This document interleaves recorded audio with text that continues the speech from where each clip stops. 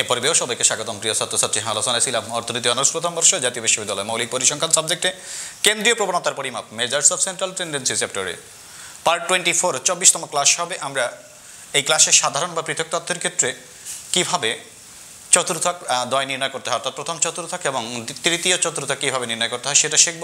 তো সাধারণ বা পৃথক তত্ত্ব বা অশ্রেণীকৃত তত্ত্ব দুই ধাপে, দুইটা ধাপ বা দুই ধরন। সেটা হচ্ছে বিজোড় সংখ্যক তত্ত্ব, আরেকটা হচ্ছে জোর সংখ্যক তত্ত্ব। প্রথমত আমরা শিখব বিজোড় সংখ্যক তত্ত্বের ক্ষেত্রে কীভাবে চতুর্থক নির্ণয় করতে হয়। সবাই মনোযোগ সহকারে খেয়াল করি। তো বিজোড় সংখ্যক তত্ত্বের ক্ষেত্রে চতুর্থক নির্ণয়, আমরা দেখো একটা কোশ্চেন আমি দাঁড় করে রাখছি কোশ্চেন কিউতে কোশ্চেন মিন করতেছে। আমি চতুর্থক দয় নির্ণয় করো। চতুর্থক দয় বলতে কি বোঝাচ্ছে? প্রথম চতুর্থক এবং তৃতীয় চতুর্থক দুটোই বোঝাচ্ছে। তো একটা তথ্য সারি দেওয়া আছে two one zero five minus six seven minus four এখান থেকে আমাকে চতুর্থক দয় নির্ণয় করতে হবে, দেখো। অ্যান্সার তা প্রদত্ত মানসমূহকে মানের ঊর্ধ্বক্রমে সাজাই। প্রদত্ত মানগুলোকে ঊর্ধ্বক্রমে সাজাই। ঊর্ধ্বক্রমে সাজাই তো কি হবে? সবচেয়ে ছোট মান, ছোট থেকে বড়তে যাব, সবচেয়ে ছোট মান হচ্ছে মাইনাস সিক্স তারপরে কি? মাইনাস ফোর এরপরে হবে zero one two five seven minus six সবচেয়ে ছোট। ক্রমান্বয়ে আস্তে আস্তে বড় হচ্ছে। মাইনাস ফোরের থেকে কিন্তু জিরো বড়। তার থেকে ওয়ান বড়, তার থেকে টু বড়। দেখো মাইনাস সিক্সের থেকে মাইনাস ফোর বড়, তার থেকে জিরো বড়, তার থেকে ওয়ান বড়, এর থেকে টু বড় ফাইভ এবং সেভেন বড়। পর্যায়ক্রমে আমি ছোট থেকে বড়। ঊর্ধ্বক্রম বলতে কি বোঝাচ্ছে? ছোট থেকে বড়তে সাজাই আমরা। তো এখন এখানে এন ইকুয়াল কত? সাতটা মান আছে। এই সেভেনের কারণে যে সেভেন তা কিন্তু নয়। গণে দেখবা। এক, দুই, তিন, চার, পাঁচ, ছয়, সাত। অর্থাৎ বিজোড় সংখ্যক তথ্য বিজোড় সংখ্যক তথ্য বিজোড় সংখ্যক তথ্যের ক্ষেত্রে আমরা জানি, এখানে লিখতে পারো, আমরা জানি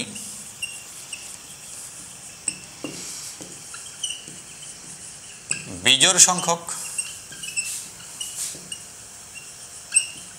তথ্যের ক্ষেত্রে প্রথম চতুর্থক।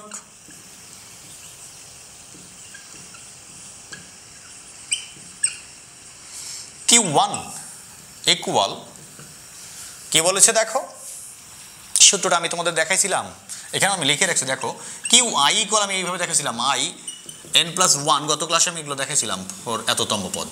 যখন প্রথম আয়ের জায়গায় ওয়ান হবে, যখন তৃতীয়, তখন আয়ের জায়গায় থ্রি হবে। এতটুকুই তো।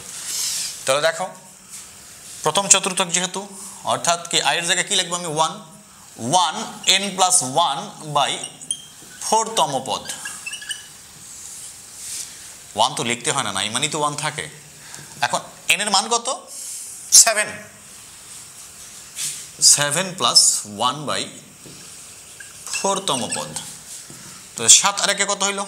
আট, আটকে চার দ্বারা ভাগ করো। দুইতম পদ। দুইতম পদ কোনটা আমাকে খুঁজে বের করতে হবে? দুইতম পদ মানে কি? দ্বিতীয় পদ। প্রথম পদ, দ্বিতীয় পদ, তৃতীয়, চতুর্থ, পঞ্চম, ষষ্ঠ, সপ্তম। তো প্রথম, দ্বিতীয়। দ্বিতীয় পদ কত এখানে? Minus four. এখানে।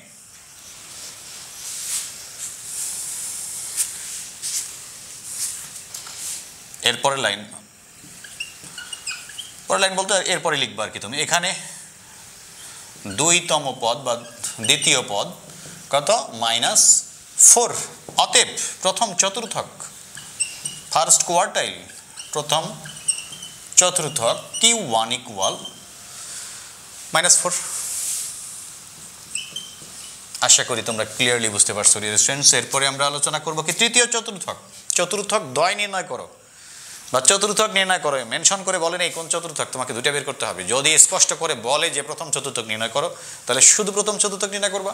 যদি বলে তৃতীয় চতুর্থক নির্ণয় করো, তাহলে তৃতীয় চতুর্থক নির্ণয় করবা। আর শুধু বলল চতুর্থক নির্ণয় করো, তার মানে প্রথম, তৃতীয় দুটাই বের করতে হবে। বা চতুর্থক দয় নির্ণয় করো, একই কথা। আবার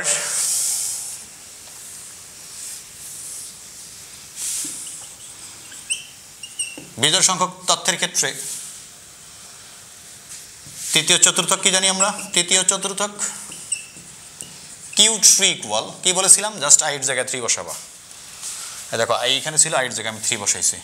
Three into N plus one by ফোরতম পদ। থ্রি, এন এর মান কত? সেভেন প্লাস ওয়ান বাই ফোরতম পদ। সাত আর আট, তিন আটা, চব্বিশ এইভাবে লিখতে পারো। থ্রি ইন্টু এইট বাই ফোরতম পদ।